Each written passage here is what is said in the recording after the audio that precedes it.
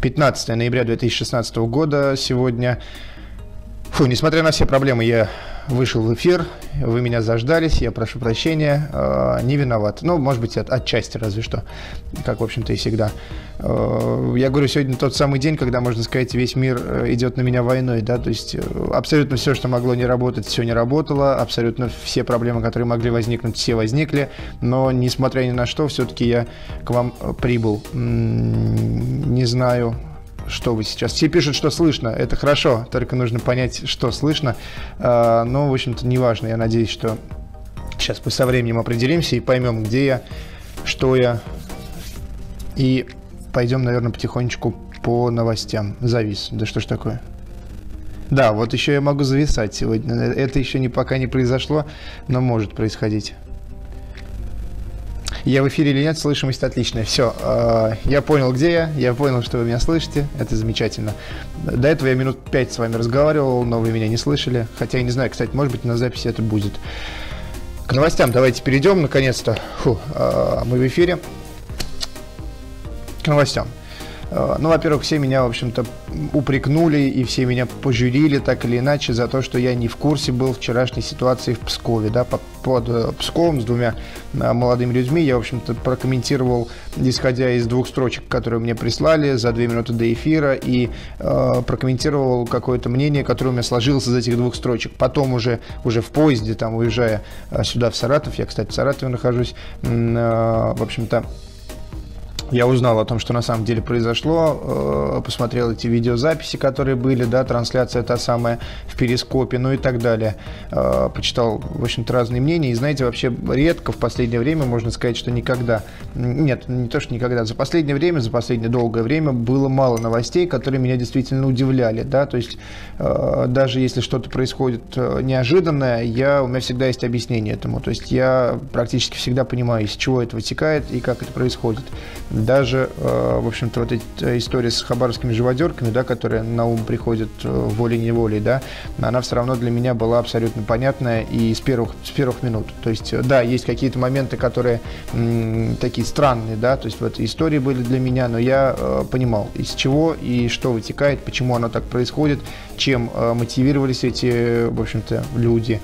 Э, из девушки, да, и что ими двигало. Вот э, в истории вчерашней, которая произошла под Псковом, э, очень много у меня вопросов, и я могу сказать, что это та самая новость, которая у меня пока в голове не улеглась, и я пока не не могу для себя найти, в общем-то, э, понимание того, как и почему это произошло. У меня есть три предположения. Ну, во-первых, нужно понимать для тех, кто, может быть, не очень понимает, о чем речь. Два, э, э, в общем, как их назвать, подростка, 15-летних, девушка и молодой человек забаррикадировались в доме, вскрыли сейф с оружием, там было два ружья и травматический пистолет. Они начали стрелять по улице, приехали полицейские, они начали стрелять в их машину. Все это параллельно ведя трансляцию в Перископе. Первое, что очень удивило, конечно, абсолютное спокойствие, потому что даже а, мы знаем примеры, даже а, там, я не знаю, преступники, рецидивисты и бандиты, я не знаю, там люди, прошедшие через достаточно многие вещи и видели достаточно многое, которые в такой ситуации, конечно, будут вести себя, мягко говоря, нервно, да. Здесь люди вели себя совершенно спокойно и, в общем-то, понимали, что они идут на смерть, и об этом говорили, и говорили об этом совершенно спокойно. Исходя из этого, у меня есть ряд вопросов, да, то есть, в первую очередь, к их э, психологическому состоянию, психическому, да, скажем так, в первую очередь, и к их э, состоянию организма, да, во вторую очередь. Э, да, мы видели, что они там курили сигареты и пили алкоголь. Никакой алкоголь и сигареты, конечно, в такое состояние, измененное состояние сознания ввести не может. То есть, есть у меня подозрение, предположение, что, возможно, какие-то наркотические вещества там, э, в общем-то, замешаны. Спрашивают, запись ли это, потому что у меня не синхронизирована картинка и звук. Э, нет, это не запись, у нас могут быть какие-то небольшие задержки. Я прошу прощения, это прямой эфир. Вот я прочитал ваш комментарий. Влад э, Ремчук. Наркоманы пишут. Ну, не, не исключаю, если честно, потому что вот это, как сказать, я не знаю, что ими двигало в плане мотивации. И я думаю, что никто об этом не узнает, потому что для этого нужно залезть им в голову. Но то, как они спокойно себя вели за несколько минут до своей смерти, да, и даже не столько спокойно, сколько иронично, я очень далек от мысли, что это какой-то склад характера. Я понимаю, что есть люди, у которых, в общем-то, развита, да, такая вот, ну, просто они спокойны сами по себе по жизни, но не в таких ситуациях. То есть пока у меня очень много вопросов по этой ситуации, у меня нет пока какой-то четкой Эм, все из-за спайсов. Вот спайсы это как раз были бы наоборот, они, в общем-то, разгоняют, скажем так, да, а тут что-то, я думаю, приглушающее. Я не исключаю, что были антидепрессанты. То есть, если мы говорим о наркотиках тех или иных, это не значит, что это люди-наркоманы были а, очевидные, да, то есть у людей, у подростков были проблемы с родителями, я так понимаю, причем долго, долго текущие проблемы с родителями, я не исключаю, что они принимали какие-то, в общем-то, успокоительные, возможно, сильнодействующие успокоительные, возможно, по рекомендации врача, да, то есть я думаю, что в скором времени мы э, об этом узнаем.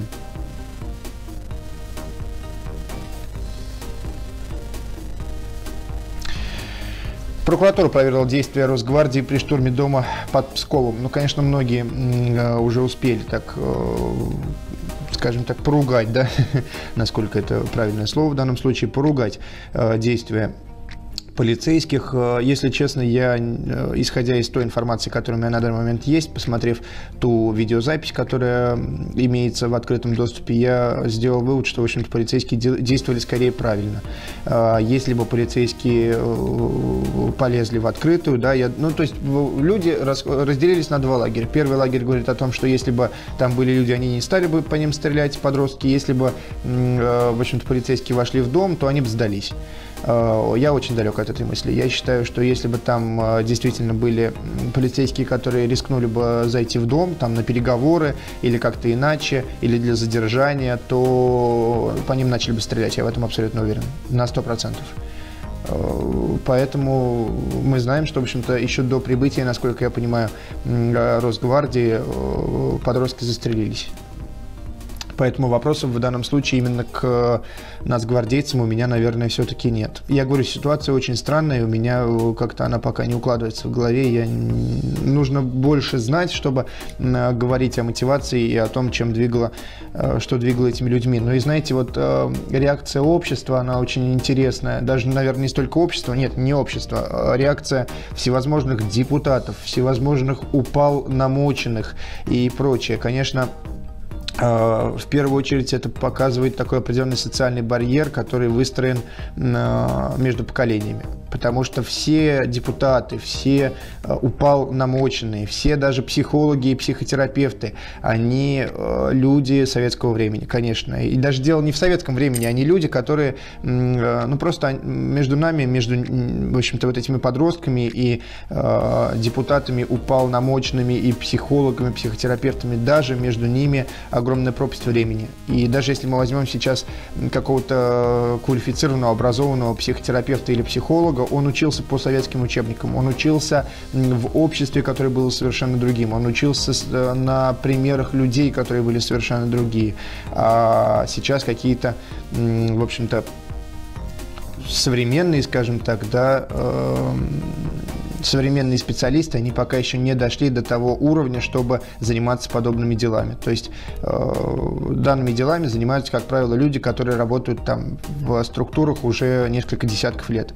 А я считаю, что данные люди просто некомпетентны. Когда речь идет о детях, когда речь идет о подростках, э, должны работать те люди, которые понимают, о чем идет речь. Не те люди, которые учились там в 70-х, 80-х годах 20 века, они просто некомпетентны. Но давайте по другим новостям. В принципе, сегодня их немало, помимо этой ситуации под Псковом. Вот э, прислали нам новость из э, Краснодара. Суд может замять дело о массовых убийствах собак в Краснодаре. Я так понимаю, там сейчас воюют зоозащитники. Э, ситуация произошла еще 14 февраля, то есть уже скоро год, как это дело длится. Я так понимаю, там какое-то частное предприятие, да, ИП, ИП Колосов, Колосов, Колосов, пардон, в общем-то, занимались отстрелом собак и застрелили около 40 собак на глазах у прохожих, среди которых были и дети, В общем-то, и, конечно, в отношении них были возбуждены уголовные дела в отношении этих людей по статье 245 Уголовного кодекса «Жестокое обращение с животными». И Э, всевозможные зоозащитники э, выступили за, в общем-то, э, соизмерное наказание, да, потому что отстрел был незаконен, это очевидно. То есть это те самые док-хантеры, я так понимаю, о которых очень часто у нас рассказывают, да, которыми часто пугают, а иногда и по делу пугают, безусловно. Дело приобрело достаточно серьезный масштаб, федеральный масштаб, и об этом достаточно часто говорят. И вот сейчас, я так понимаю, что суд, скорее всего, отправит дело на доследствие. Но доследствие следствие может затянуть дело на очень долгое время, э, иногда это годами может длиться. Я не знаю, кстати, какая, какой срок давности по, данному, по данной уголовной статье не изучал. Э, кстати, интересный вопрос, можно погуглить. Могут ли они уйти от ответственности по срокам давности? Я думаю, что, в принципе, э, наверное, могут. Надо, надо посмотреть, не, не могу знать. Что по данному поводу сказать? Конечно, такая ситуация, она вызвана в первую очередь, э, вот скажут, а, есть животные, да, есть люди, которые этих животных убили, вот скажут, при чем здесь Путин? Ну вот как можно связать эту историю с Путиным? А вот будет смеяться, и здесь тоже виноват Путин. А, почему? Потому что, конечно, вопрос бездомных животных, он очень остро стоит, особенно в не особо больших городах, то есть если мы, например, в Москве, ну, практически не видим бездомных животных так или иначе, то даже в Саратове, в городе, где миллион человек вообще-то проживает, э, ну, неофициально, официально, официально там чуть меньше миллиона, да, но по факту проживает миллион человек. Вопрос с бездомными животными, он стоит очень остро, очень и очень остро. То есть есть целые микрорайоны, в общем-то, которые оккупированы, скажем так, э, стаями животных, которые нападают на людей и э, общество, вернее власть, да, в первую очередь власть никак с этим э, бороться и этот вопрос решать не хочет. И поэтому Поэтому возникают вот такие прецеденты, да, когда люди, э, в общем-то, берут оружие, убивают животных, иногда за деньги, иногда, чтобы, в общем-то, обезопасить себя. Мы знаем э, истории, как нападают э, животные возле школ, да, ну, нападают собаки возле школ на детей в том числе, и потом этих собак убивают, ну, просто потому что никто не хочет стратегически этот вопрос решать, да, глобально.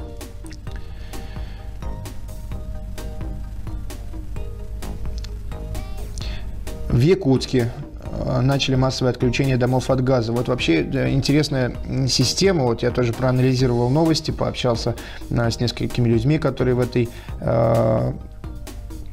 Власть вообще ничего решать не хочет на животных, тем более всем все равно, но здесь другое слово, не будем материться лишний раз. Э, согласен, конечно, власть, э, это власть временщиков, если мы говорим э, так уж, сейчас мне скажут опять, что я коммунистическими лозунгами заговорил, но тем не менее, власть временщиков, которая решает только то, что им приносит выгоду здесь и сейчас. То есть, э, если есть какой-то вопрос, который принесет выгоду вот сегодня, э, то хорошо. Если принесет выгоду завтра, то может быть. Если послезавтра, то нет.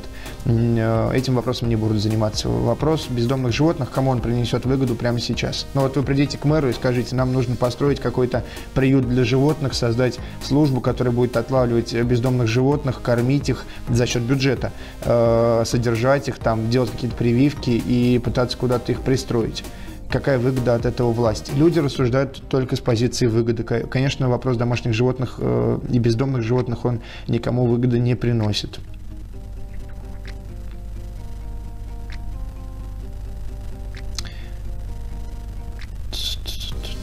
Да, в Якутске начали массовое отключение домов от газа. Я, в общем-то, начал к тому, что э, у нас сейчас будет идти массовая система оптимизации, так или иначе. То есть э, мы уже видели вчера, э, я рассказывал о том, что несколько населенных пунктов, в общем-то, отключили от электроэнергии и газа и будут, в общем-то, продолжаться подобные случаи. То есть вообще вот сейчас мы об этом слышим как о каких-то частных системах очень скоро, вот помяните мое слово, там к весне 2017 года мы услышим о вот это слово оптимизация, которое было там в 2011 году, да, мы снова его будем слышать. Оптимизация общественного транспорта, оптимизация медицины, оптимизация расходов на образование и так далее. То есть вот, э, вот это слово, может быть, может быть, оно будет не так называться, может быть, оптимизация оно называться не будет, сокращение, как-то иначе, может быть, придумают какое-то интересное новое слово, о котором э, о котором мы пока не слышали, не знаем, да, а, но так или иначе власть будет идти на то, чтобы сокращать расходы. Почему? Потому что нет денег, естественно,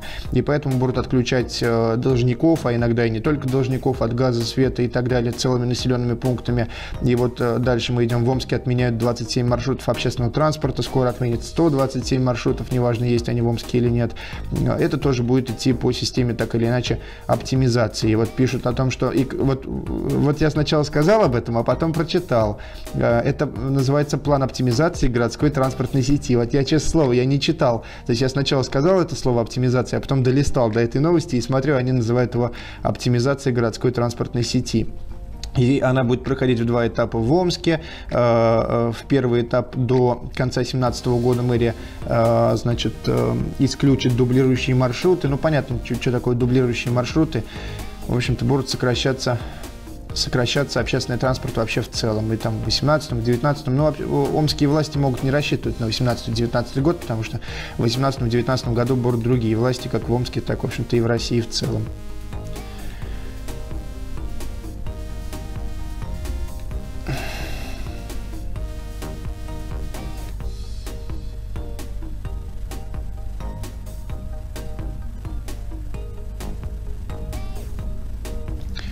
Так, ну давайте побаним, такой тайм-аут сделаем.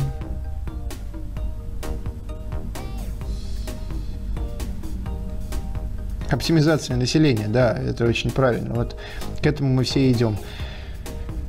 Завод Седина, да, а, про завод Седина многие тоже сегодня говорили. Народный исход прошел э, работников э, завода Седина, несмотря на угрозы и провокации. Задолженность по выплатам э, перед 151 работникам завода достигла 16 миллионов рублей, но это, в общем-то, не особо много, так уж если по-честному, по нынешним меркам, когда мы слышим, что миллиарды некоторые заводы должны. Но вот я вам давайте покажу фотографию, во-первых, как этот сход прошел.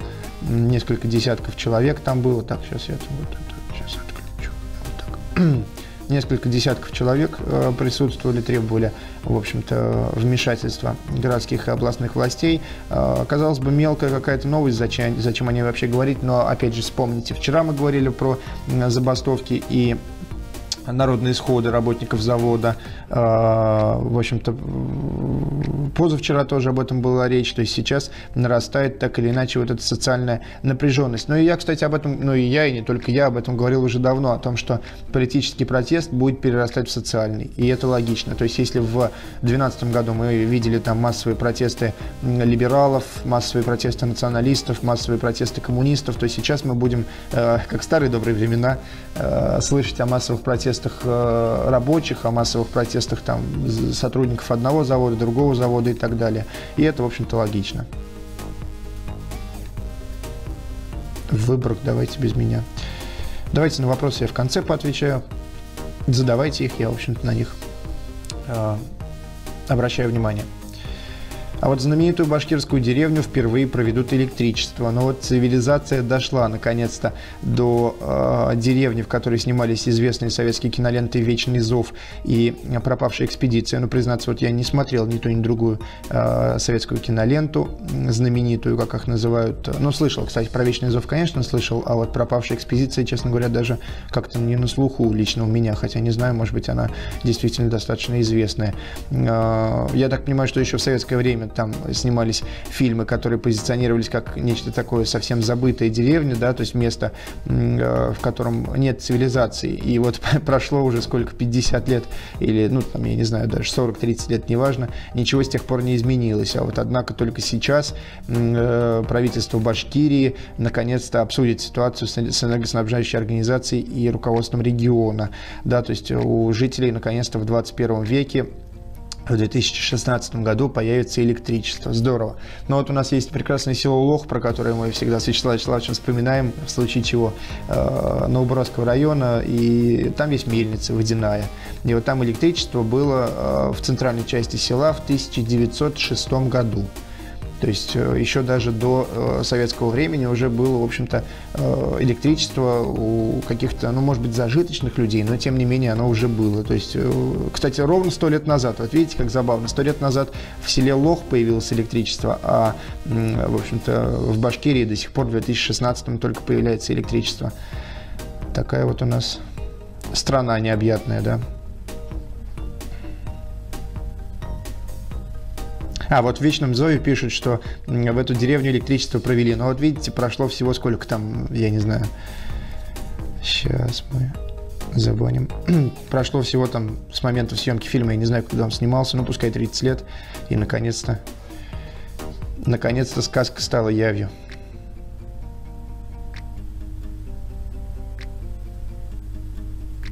Подписчики бегут со страшной силой, больше мата. Да, подписчики бегут, потому что я матерюсь. А, нет, это не так. Во-первых, подписчики никуда не бегут, они происходит ротация кадров, мы об этом говорили, я показывал статистику, и если кто-то там во влажных фантазиях надеется, что у нас идет отток подписчиков, не надейтесь, отток подписчиков очень маленький, можно сказать, минимальный.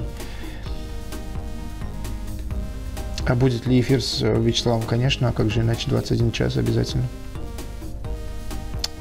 Церковь считает процесс в отношении противников храмов Торфянки защитой конституционных основ. И вот тут меня, конечно, бомбит со страшной силой. И вчера я об этом говорил, и сегодня продолжаю говорить. Вчера всех э, задержанных э, активистов парка Торфянки отпустили, но возбудили уголовное дело в отношении одного из активистов.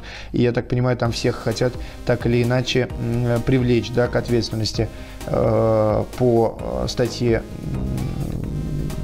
о защите чувств верующих, да, нарушении там, как это, оскорбление, вот, оскорбление чувств верующих, и еще хотят привлечь по 282 статье. Но э, мы уже говорили, что нужно им теперь э, вписать еще сепаратизм и э, посягательство на конституционный строй России, да, то есть это вот четыре статьи, которые можно привлечь, по, по которым можно привлечь абсолютно кого угодно, а еще 280 есть, это призыв к массовым беспорядкам. Вот пять статей, которые можно вписать абсолютно любому человеку, вот на улице его хватаешь, сажаешь за этот стол и пять уголовных дел на него возбуждаешь совершенно спокойно, потому что это статьи, которые, под которые попадает каждый из нас, каждый из вас, я, там, каждый, кто пишет в этом чате, кто смотрит эту передачу. И вот церковь посчитала, что в общем-то, возбуждение э, уголовных дел на активистов, которые защищают парк, которые защищают экологию, которые защищают свое право отдыхать в зоне отдыха, да, которая предназначена для этого. Э, люди, которые просто защищают свой район. Э, церковь считает, что вот уголовное дело в отношении них – это защита конституционных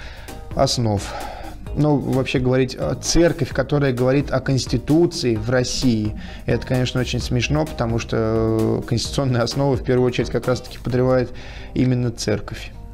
За ОРПЦ, да, но естественно я не говорю. Хотя вот знаете тоже, когда я говорю о том, что я отделяю, вот это такой спорный момент, когда я говорю о том, что я отделяю э, РПЦ от христиан, я делаю вам большую поблажку, христиане, без обид. Потому что э, если бы я видел, что есть большое движение, христианское движение, которое борется с э, РПЦ, которое борется за ОРПЦ, которое борется с Гундяевым, который является преступником, который борется с еще десятком преступников, которые в этой отрасли сидят, если бы я видел это движение движение православных людей, я бы сказал, вот это люди православные, а вот это РПЦ. Этих людей я, к сожалению, не вижу, извините. Я знаю, что есть отдельные какие-то люди там по одному, которые сидят и которые э, говорят о том, что я православный человек, но я не поддерживаю РПЦ, но я не вижу движения, которое борется с э, ЗАО РПЦ, да, с вот этим, в общем-то, преступным аппаратом, который захватил церковь и захватил, оккупировал русское православие в России, да, поэтому, когда я говорю, что отделяю христиан от церкви, я считаю, что делаю христианам большую поблажку. Вот когда я увижу, что христиане борются за, за свою церковь, за настоящее христианство, да, за настоящее православие, православия и борется за ОРПЦ, вот тогда я, в общем-то, э, буду очень рад, хотя я не христианин. Э, буду очень рад, а пока, пока вам есть над чем работать, друзья.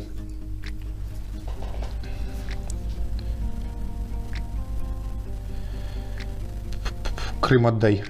Нету, у меня нету Крыма. Вы думаете, я его куда-то спрятал?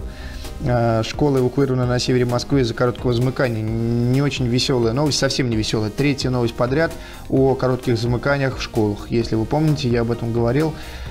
750 э, человек эвакуировали, то есть цифры растут. Сначала в первом случае, я уже не помню, в каких городах это было в Краснодаре, и еще в каком-то одном в Краснодаре эвакуировали 500 человек. На следующий день в каком-то городе также на площади 20 квадратных метров горела школа. Там 600 с небольшим человек эвакуировали, вот тут 750 учащихся. И, к счастью, пока никто не страдает, э, нет пострадавших, да, но э, тем не менее Но, тем не менее, мы видим, что если так будет продолжаться, да, вот эта волна, она будет идти с, э, в общем-то, мелкими пожарами, которые потом могут перерастать в очень серьезные трагедии. И, к сожалению, на это опять никто не обращает внимания.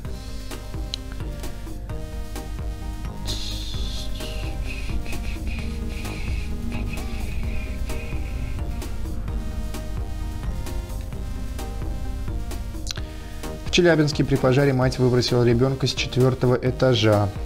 Э, тоже, конечно, жуткая история. Э, загорелась квартира, выбежали соседи. Женщина, в общем с ребенком не смогла выйти через дверь, потому что им, в общем преградил дорогу огонь. И э, женщина выбросила ребенка из окна на простынь, которую, на, на ковер, да, который расстелили выбежавшие соседи. Но, наверное, нужно очень, очень отважным человеком быть, чтобы на это решиться, потому что, конечно, если бы, не дай бог, что-то э, случилось, и ребенка бы не поймали, или при падении он получил бы какие-то серьезные травмы, то э, и эта женщина бы потом в итоге осталась жива, то, наверное, как, какие-то, я не знаю, как вообще жить после этого с такими мыслями, да, понимая, что, в общем-то, не огонь убил твоего ребенка, а вот ты его выбросил, хотя пытаясь, в общем-то, спасти, естественно. Вспоминается сразу невольно так фильм «Мгла» и концовка фильма «Мгла», кто смотрел, в общем-то, тот, тот поймет, да, когда уже, казалось бы, безвыходная ситуация, и главный герой э, убивает всех сидящих в машине, чтобы, в общем-то, они не мучились, да, а потом открывает дверь и, и его спасают но кто смотрел фильм, понимает. Вот, вот здесь, мне кажется, чем-то схожие эмоции, наверное, они эм, испытывала эта женщина, схожие эмоции. Со 2 декабря стоимость парковки в Москве вырастет до 200 рублей э, в час. Но мы об этом говорили, но тут сразу поспешили. Правительство Москвы сразу все, а, в общем-то, отвергло и сказало, не-не-не, ничего не будем повышать, только на 133 улицах. Но ерунда, 133 э, улицы в центре Москвы повысили стоимость парковки. Но москвичи, посмотрим, как это отразится, в общем-то, на, э, на стихийных стоянках в том числе, да, то есть мы знаем, по Москве ездим, видим, как люди ставят машины в общем-то, загораживают номера, да, закрывают номера, чтобы их нельзя было э, отсканировать, да, то есть обходят, пытаются обходить эту систему, но и будут продолжать пытаться. Не потому, что люди жадные, а потому что, в общем-то, э, исходя из тех средств, которые у нас есть, да вообще, кому мы должны что-то платить, вот, ну, отдельная история, конечно. В Тверской области при пожаре погибла мать с пятью детьми продолжаются пожары в очередной раз. В общем-то, страдают дети, в этот раз 5 человек, да, то есть мы уже слышали о гибелях э, родителей там с двумя детьми, с тремя детьми, сейчас вот с пятью детьми сразу. Жуткая, конечно, ситуация. Следственный комитет России задержал администратора группы во ВКонтакте, склонявшего детей к самоубийствам. И вот тут я вообще ничего не понял. Ну, вернее, я понял, это, это как раз то, о чем я говорил. Это как раз э, некомпетентность абсолютная э, органов, которые занимаются вопросами подростков, вопросами воспитания подростков, вопросами, эм, э, как сказать, э, защиты подростков в том числе, да, то есть люди, которые абсолютно ничего не понимают в э, детской подростковой психологии современного общества, э, пытаются их защищать. Сейчас, я так понимаю, посадят этого молодого человека, там нам рассказывают о том, что он там манипулятор жуткий, и вообще скрывался там под каким-то невероятным именем Филипп Лис, вот неожиданно в соцсетях местах, оказывается, кто-то ставит не свои имена. Представляете, как бывает? А, и он там какой-то невероятно психоанализом занимался и на основании психоанализа склонял детей к суициду, был известным манипулятором, там чуть ли не, э, не этот, как его, гипнозом там владел через соцсети и так далее. Конечно, это полный бред, никто никаким гипнозом не, не владеет, и в первую очередь нужно заниматься воспитанием своих детей. Если у вас э, нормальный ребенок, э, в общем-то, самодостаточный так или иначе, да, то я думаю, никакие гипнотизеры с фамилией Лис, э, в общем-то, на ваших детей повлиять не смогут. не знаю, я просто ставлю вот себя в пример, да, то есть, э, наверное, имею на это право в том плане, что я не так давно там относительно э, большинства наших зрителей был подростком, я просто представляю, что там 7, там, я не знаю, сколько, 8 лет назад кто-то там в социальных сетях мне начнет э, писать о том, что там э, давай покончим жизнь самоубийством, это так круто. Не знаю, на меня бы это, наверное, не подействовало. Либо я вот такой э, не склонный к гипнозу, либо вот то, о чем они пишут, это полная херня. Давайте поотвечаем на вопросы. У нас сегодня Хотел сказать, у нас сегодня сумбурный эфир, и теперь пытаюсь вспомнить, когда у нас был не сумбурный эфир. Э, я думаю, что с завтрашнего дня э, у нас будет второй соведущий. Многие об этом пишут, что нужен второй человек, который будет, в общем читать новости, как-то поддерживать беседу, задавать вопросы. Я, в общем-то, пришел к такому же выводу, поэтому я думаю, что с завтрашнего дня он появится, я вам его представлю. А пока давайте поотвечаем на вопросы.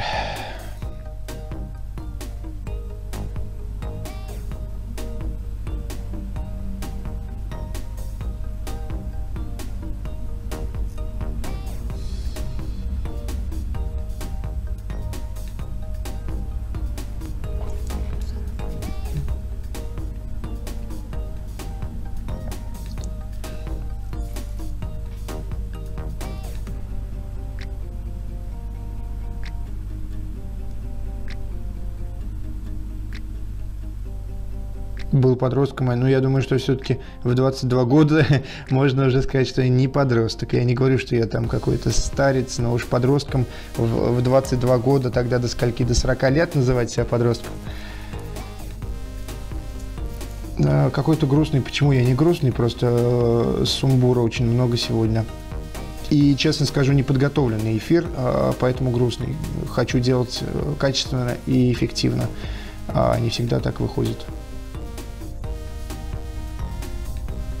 Хожу ли на футбол очень давно, очень редко, хотя, может быть, и, и, и зря. В Москве вот был, хотел сходить на футбол, а футбола нет, представляете? Ну, пауза там на игры сборной. Передайте, пожалуйста, привет городу Острову Псковской области. Мы с вами. Обратите внимание, обратил. Большой привет.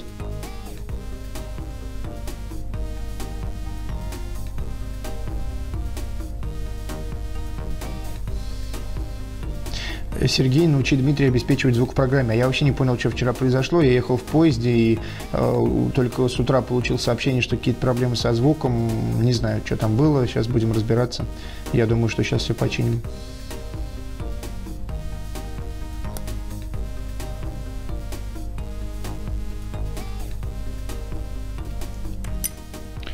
что за купюра в картине за спиной. Это советские 100 рублей, но такие уже, в смысле, которые ничего не стоили. Кстати, да, я их в прошлый раз убирал, а сейчас вот забегался, не успел.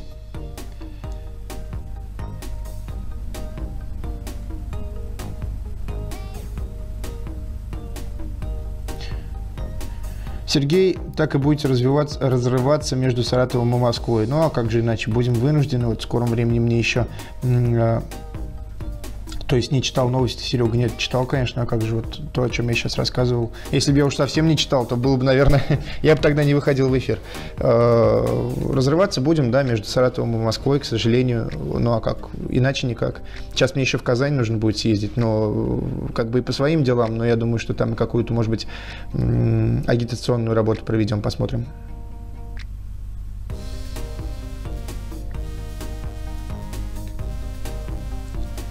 Вопросы из разряда «спроси Мальцева», задавайте Мальцеву. Я понимаю, что, может быть, эм, Мальцев более там популярен, чем я, более авторитетен, чем я, без вопросов, но уж извините, я как бы не это, не пресс-секретарь Мальцева, хотя выполняю работу пресс-секретаря Мальцева. В общем, я не передаю ему вопросы. Мы сделали мою программу не для того, чтобы вы сюда писали вопросы Мальцеву.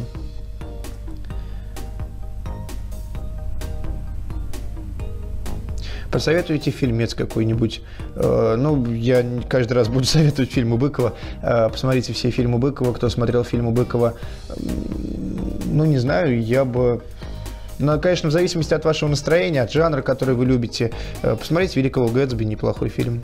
Я недавно прочитал книжку, тут вот кто-то мне... Я вообще не понял, почему люди пишут, что я не читаю книжек. Я очень много читаю книжек. Ну, может быть, в последнее время меньше за счет загруженности. Но... Э, тем не менее, читаю достаточно много. Вот «Великого Гэтсби» прочитал, и фильм мне, кстати, понравился больше. Посмотрите фильм «Великий Гэтсби», там, кстати, еще Ди Каприо играет, без Оскара. Улюкаев, да, вот про Улюкаева, Улюкаева много говорят, но мы, конечно, про Улюкаева будем говорить 21 час. Э, Мое мнение, это очень хороший, такой очень грамотный ход, э, очень классный такой тычок ниже пояса со стороны нашего любимого э, Вячеслава Викторовича. Конечно, мы понимаем, что Улюкаев это человек, скажем так, Медведева, ну, это очевидно, потому что это правительство Медведева, и такой крупный скандал э, в правительстве Медведева, он на руку только одному человеку, и мы знаем, как, как его зовут. Скажите, как его зовут? Что скажете как, э, про Камикадзе как о человеке? Я не знаком с Камикадзе, ну, мы, я не знаю, две минуты друг с другом разговаривали э, в личную, скажем так, не знаю.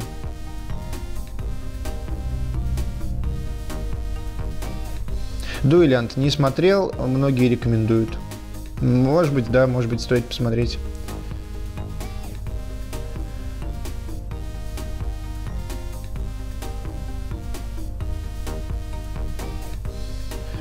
Про Украину спрашивают. Я, кстати, не в курсе, как, как там развивается ситуация на Украине. Я вообще как-то вот, я не знаю почему, как-то я выпал из э, такого э, понимания, что там происходит, в том плане, что вчера мне написали, что там будет какой-то Майдан, я подумал, ну, наверное, наверное какие-то э, хихоньки да хахоньки, а сегодня действительно там вышли, в общем-то, несколько тысяч человек, причем разнятся данные на украинских пабликах я э, читаю, что там 500 тысяч человек в центре Киева. Э, по Первому каналу говорят, там 3 тысячи человек.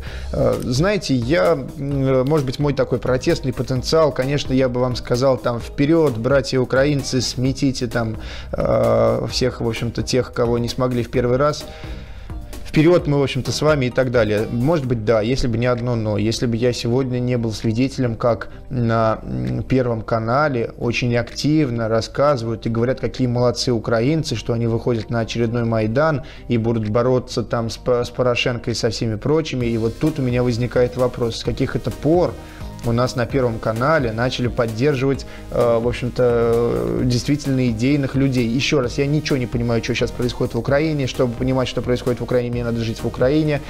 Поэтому я не, не говорю, что там какие-то люди, там, э, рука Кремля, да, то есть, что это там какая-то вот э, сложная схема. Я думаю, что со временем мы все увидим. Кстати, если кто-то, э, если кто-то из Украины могут может нам э, прокомментировать, да, из участников, может быть, этих событий, э, вот этого вот очередного Майдана, как его называют, то давайте с удовольствием э, узнаем.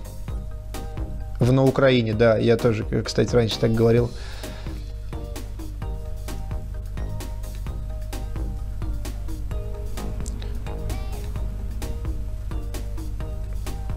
Как прокомментируете высказывание Горского про обсуждение программы Мальцева с народом? Я уже говорил, что я э, читал его первый, э, первую критику, э, как бы свое мнение по этому поводу сказал в прошлой программе.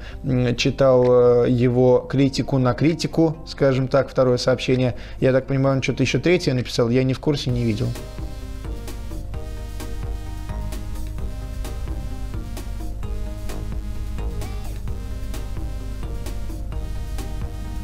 Зачем жить в Украине, чтобы понимать, интернет же есть? Не знаю, знаете, очень разные бывают ситуации.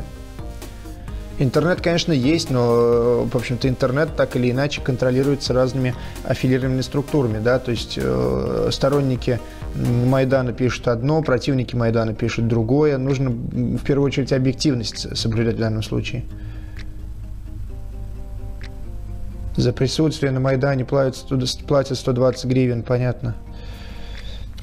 А нам Обама платит. Вы не знали?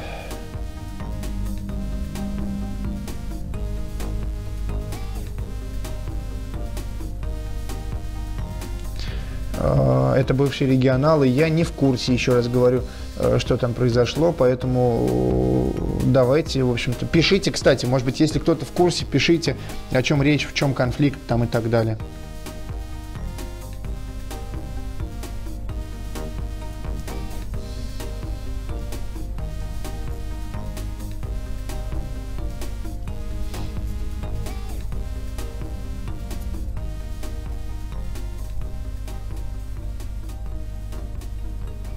Когда уже расскажешь паранормальные истории жизни, когда э, какой-то момент будет э, нужно какой-то, я не знаю, повод, повод. Их, их достаточно много.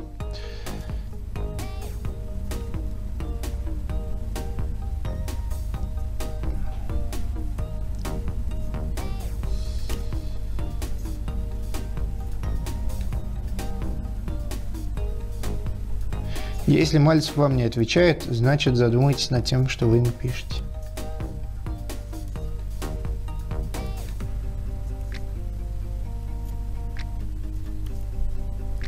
Россияне боятся выйти на свой Майдан. Может быть и правильно. В том плане, что есть как бы более эффективные методы, скажем так.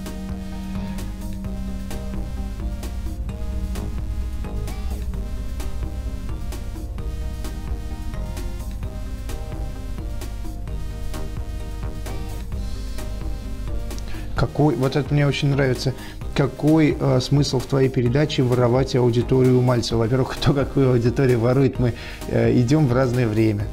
Если бы мы шли в, в, в одновременно, как бы одновременно, да, в одно время, то да, согласен. Можно было бы сказать, что там это как-то друг другу может э, мешать. Это во-первых. Во-вторых, никто вас не заставляет смотреть. Вот вы смотрите, зачем пишете вопрос.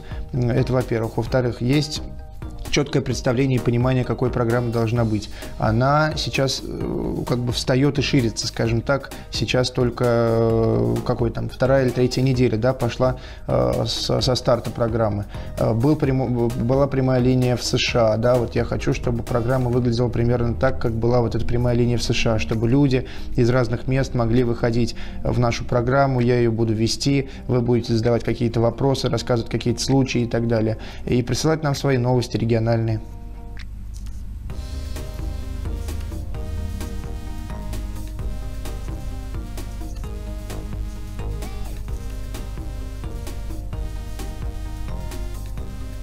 Куда Мальцеву писать? Ребята, больше внимательности. Есть 10 тысяч почт, ну, может быть, не 10 тысяч, может быть, 3. Все они есть в описании.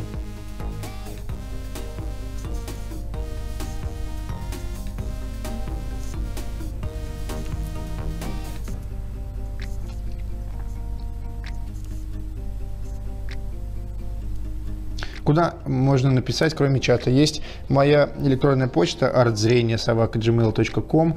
А, ссылка на нее есть э, в описании под, этим, под этой трансляцией. Туда вы можете присылать какие-то вопросы или, в общем-то, вопросы или предложения или новости можете писать на электронную почту.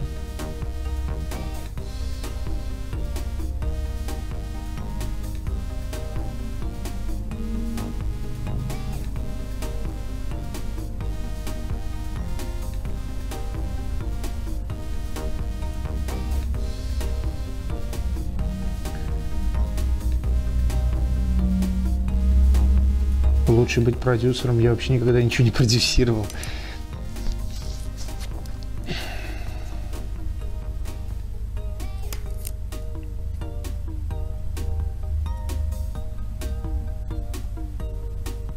Давайте еще пару каких-нибудь вопросов и на этом заканчиваем. Я прошу прощения, что я сегодня какой-то разобранный такой немножко.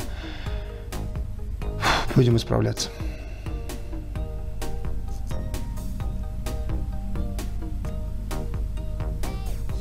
Чтобы понимать, что происходит в Украине, подпишись на Балашова. Я буду понимать, что думает Балашов о происходящем на Украине. А я не хочу знать, что думает Балашов. Я хочу знать, но не хочу это э, воспринимать как единственную истину. Будут дебаты в скором времени с кем-нибудь. Обязательно будут.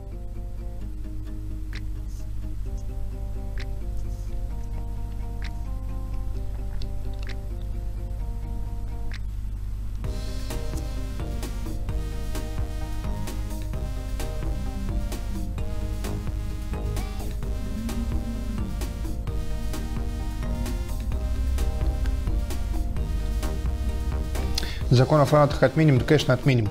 Но это полная глупость. Фанаты, конечно, являются определенной движущей силой. Мы это видели и на Манежной площади, и на, в общем-то, многих, скажем так, э, событиях протестного характера. Поэтому закон о фанатах, э, он, конечно, в первую очередь введен для того, чтобы подавлять э, активный слой населения. Активный и э, активный и, скажем так, как это сказать,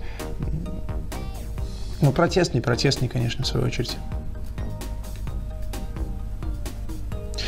Сергей, ты будешь подробно освещать, как жители Парфян, э, Торфянки отстаивают свой парк. Меня, мне не дает покоя, я вам честно скажу, эта история. И, э, конечно, я очень хочу как-то в нее вписаться. Не, пока не очень знаю, как, э, чем я могу быть полезен и чем я могу помочь. В первую очередь хочу, конечно, связаться с организаторами протестов в Торфянке, чтобы они, в общем, с активистами, да, чтобы они вышли в нашу передачу, если есть возможность. Если нет возможности, я до них доеду на месте вместе сниму, в общем-то, материал, покажу его вам. А, ну, наверное, вот в данном случае это все, чем я могу быть полезен. Может быть, не все, но как бы вот а, основная моя роль будет в данном случае такая. Но я с удовольствием как бы, э, как сказать, не с удовольствием, это моя обязанность поучаствовать в этом процессе.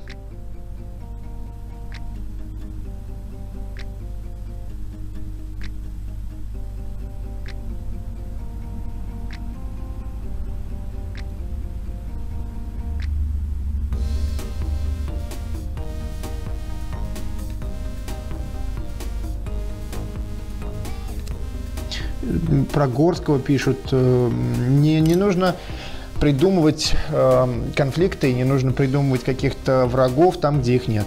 Это то, что я считаю про Горского. У него есть какое-то свое мнение, разве он не имеет на него права? Конечно, имеет. Он никого не оскорблял, он совершенно, ну, как бы, совершенно продуктивно высказал свою точку зрения. У него она такая, у кого-то она другая. Мы примем ее в внимание. И, и Горский, нужно понимать, что Горский это Горский, и Горский, э, в общем-то, не, не отражает собой какое-то мнение там миллионов людей, да, то есть э, я всегда говорил, что посадите здесь э, трех националистов, и они друг с другом подерутся за то, кто из них более правильный националист. Поэтому, к сожалению, да, есть такая проблема, она всегда была, она всегда будет.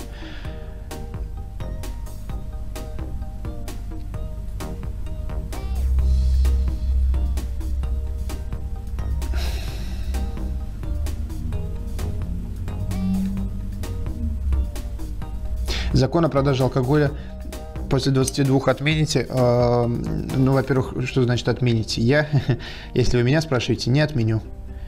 Не отменю, э, считаю замечательным законом. Э, вообще, очень многие из тех законов, не очень многие, окей, пардон, отмотаем назад, несколько законов из тех, которые считают некоторые категории людей репрессивными, я считаю верными в том числе закон о курении, который многие считают репрессивным и бессмысленным. Э, сразу вы можете сказать, что, в общем-то, закон о курении э, все равно люди курят, но это вопрос о его, скажем так, о его соблюдении, да, этого закона, о его исполнении. Это не значит, что закон плохой, закон на самом деле хороший. Это мое мнение. Может быть, кому-то оно не понравится.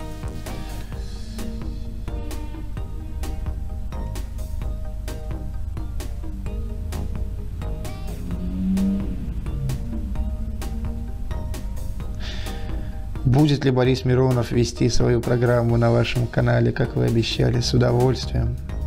Давайте обсудим. Ну, в смысле, не, надо решить этот вопрос, да. Мы не против.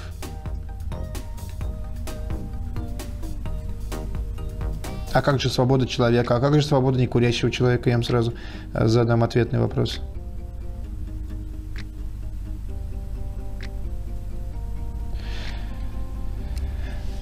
Спасибо э, за ваши вопросы, спасибо за то, что вы нас смотрите, э, спасибо за то, что подписываетесь. Спасибо, э, за что вам еще сказать спасибо. Спасибо за то, что ставите лайки. Спасибо за то, что мы с вами увидимся в 21.00, то бишь уже практически через час.